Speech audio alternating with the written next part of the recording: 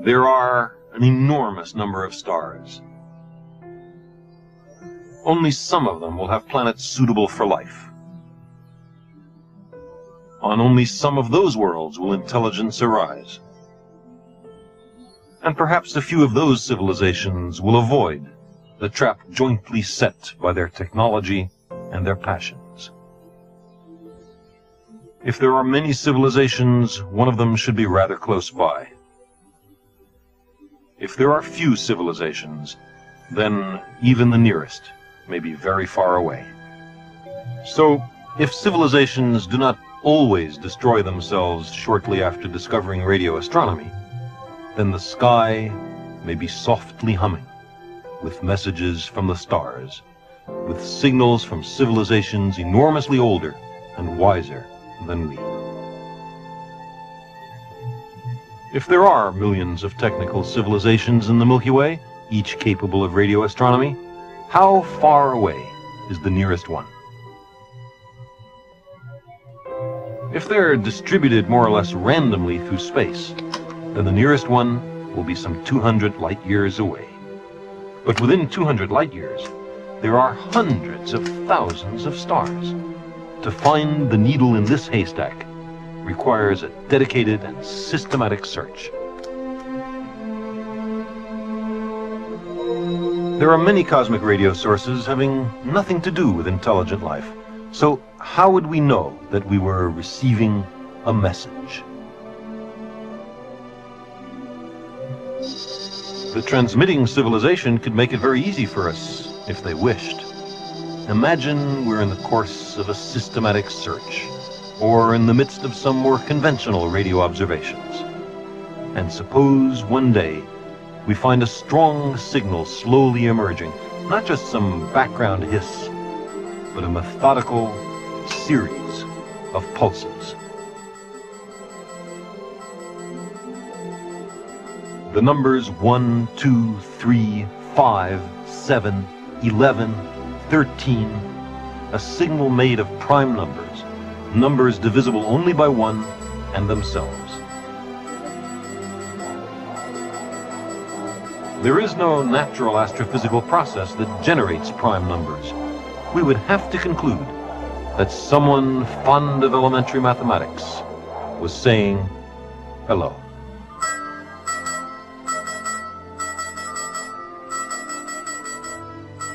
This would be no more than a beacon to attract our attention. The main message will be subtler, more hidden, far richer. We may have to work hard to find it.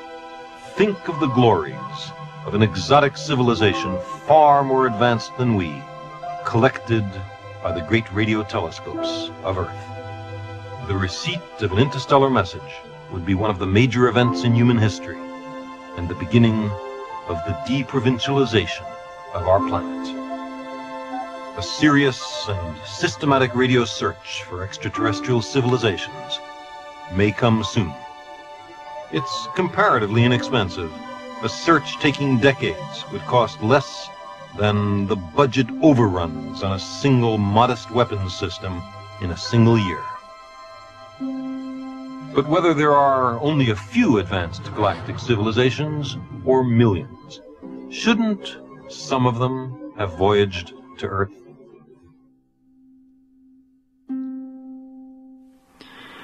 There are many possible answers, including the contention that they have come here, although the evidence for that is pitifully slim. Or there may be no one else out there, because they destroy themselves, with almost no exceptions, before they achieve interstellar flight. Or maybe because in a galaxy of 400 billion suns, ours is the first technical civilization.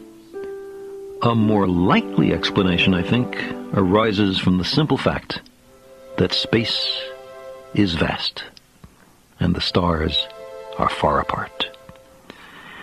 Even if there were civilizations much older and much more advanced than we, expanding out from their home worlds reworking new worlds, and then continuing onward to other stars, they would be unlikely to be here. Yet. And because the speed of light is finite, the TV and radar news that a technical civilization has arisen on some planet of the sun has not reached them yet.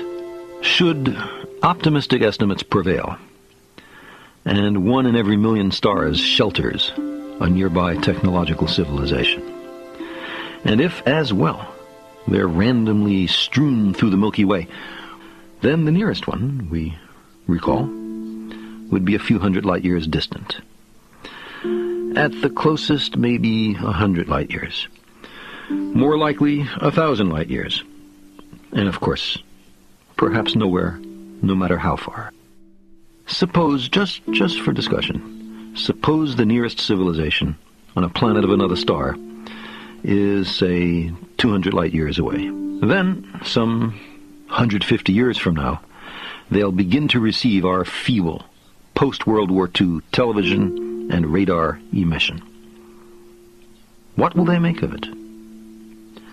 With each passing year, the signal will get louder, more interesting, perhaps more alarming. Eventually, they may respond by returning a radio message or by visiting. In either case, the response will likely be limited by the finite value of the speed of light.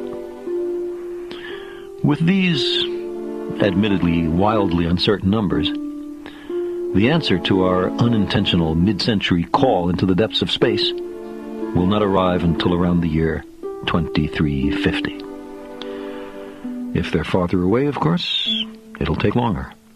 And if much farther away, much longer. But the beacon signal alone would be profoundly significant. It would mean that someone has learned to survive technological adolescence, that self-destruction is not inevitable, that we also may have a future.